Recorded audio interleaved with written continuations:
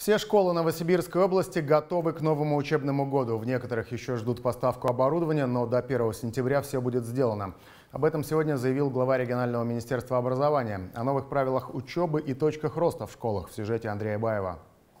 Общеобразовательную школу в селе Раздольное сдали в 2008 году. Сегодня учебное заведение выглядит так, словно новое. Заслуга педагогов и учеников берегут.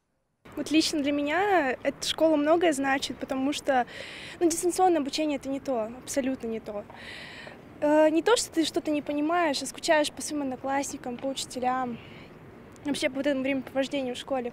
К первому сентября здесь все готово. Из новшеств – меры по противодействию распространению коронавирусной инфекции.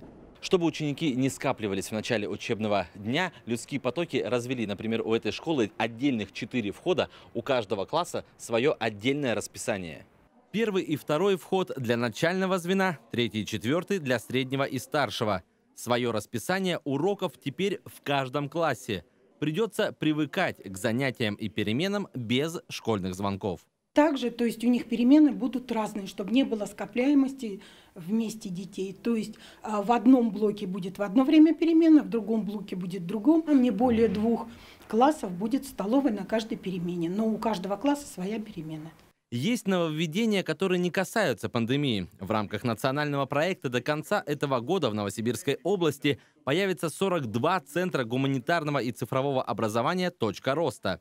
Например, в этой школе ребята будут изучать робототехнику, пилотирование квадрокоптеров и программирование. До 2023 года в регионе планируют запустить больше 300 таких центров технология, ОБЖ, это могут быть предметы естественно-научного, гуманитарного профиля, это может быть информатика и ИКТ, и все что угодно. Школа определяется, и ученики из соседних школ приезжают сюда на занятия на современном оборудовании э, с хорошими продвинутыми учителями, которые знают, мы всем повысили квалификацию, которые знают, как работать в таких условиях.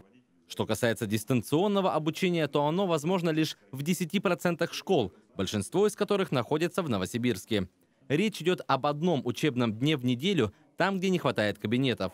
При этом в нашем регионе торжественные линейки все-таки пройдут в разное время, отдельно для каждой параллели. Андрей Баев, Алексей Погудин, Новости ОТС.